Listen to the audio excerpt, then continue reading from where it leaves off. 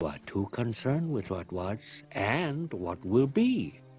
There's a saying, yesterday is history, tomorrow is a mystery, but today is a gift. That is why it is called the present.